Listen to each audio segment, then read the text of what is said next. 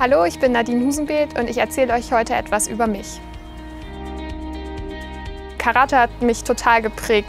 Ich habe hab damit angefangen, als ich zur Grundschule gegangen bin, weil ich so ein bisschen ähm, ja, Anfangsprobleme so mit dem Selbstbewusstsein hatte. Ich habe mir viele Sachen angeguckt über Judo, alles, was man sich so als Kampfsportart vorstellen kann. Karate ist, hat unheimlich viel dafür gebracht, äh, dass man mit Brust raus, Kopf hoch äh, auf den Abreiteplatz kommt, in die Schule geht. Ähm, und äh, gleichzeitig hat es auch unheimlich viel mit Selbstdisziplin zu tun und ähm, natürlich auch noch äh, das Karate jegliche Körperpartien äh, trainiert. Und das ist natürlich für mich als Ausgleichssport äh, wirklich gut, weil beim Reiten ja doch sehr einseitig ähm, alles belastet wird und beim Karate trainieren wir wirklich jegliche äh, Muskelpartien, die wir so haben. Und das merkt man auch manchmal. Mit der Zeit äh, macht man ja beim Karate immer weiter seine Gürtel. Also man fängt bei Weiß an äh, bis hin zu Schwarz. Ähm, und das habe ich so Step by Step äh, gemacht. Bin mittlerweile beim zweiten Braungurt und ja, freue mich total, weil das auch eine Anerkennung ist, wenn man dann in der Reihe steht, ganz relativ weit vorne beim Angrüßen, weil das ist ein Zeichen dafür, dass man gut dabei ist. Und es ist so, dass wir nicht wirklich diskutieren beim Training. Also wenn ich mit meinem Papa in der Halle bin und wir reiten, dann diskutieren wir da auch mal drüber, was habe ich gefühlt, was hat, was hat er gesehen. Und ähm, so beim Karate ist es dann eher so, dass man auch äh, mal was gesagt bekommt. Man denkt vielleicht, nee, eigentlich will ich das jetzt nicht nochmal machen oder mir gefällt das nicht so.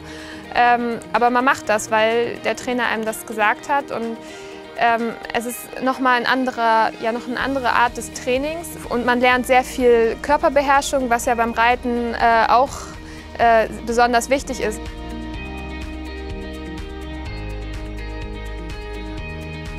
Ich bin dadurch unheimlich in Balance gekommen, sehr im Gleichgewicht und das hilft mir natürlich dadurch auch bei der Ausbildung der jungen Pferde. Ich kann sie dadurch besser unterstützen.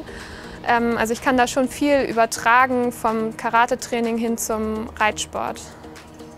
Natürlich greifen wir auch an, wir haben Angriffstaktiken, äh, aber ähm, Karate ist vom Grundsatz her eher eine Verteidigungssportart. Wir lernen uns zu verteidigen und ähm, das ist, glaube ich, etwas, wodurch man auch viel ähm, Selbstvertrauen kriegt. Denn Karate schult auch unheimlich das Selbstvertrauen, weil man weiß, wie reagiere ich in ähm, bestimmten Situationen. Wenn jemand auf mich zukommt, ähm, weiß ich, wie ich mich verhalten muss und ähm, das ist etwas, was äh, einem auch beim Reiten hilft oder nicht nur beim Reiten, wirklich im ganzen Leben.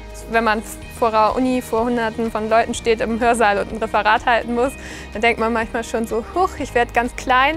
Äh, aber wenn man sich dann solche Gefühle wieder in den Kopf ruft, dann strahlt man das auch aus. Und das ist ja auch etwas, was beim Karate wichtig ist, dass man eine Ausstrahlung hat äh, und ihn schon im Grunde dem Gegner schon von Anfang an zeigt, du hast bei mir sowieso keine Chance. Ich habe auch eine Zeit lang mal äh, angefangen, auch Karate bei Wettkämpfe zu machen.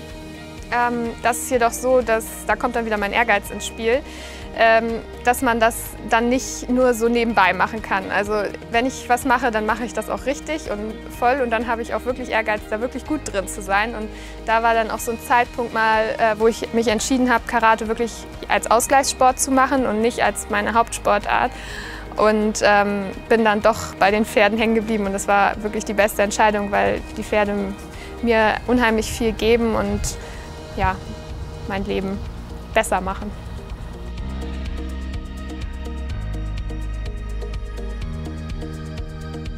Jetzt habe ich euch etwas über mich erzählt und beim nächsten Mal erzähle ich euch etwas über mein Lieblingspferd Florida.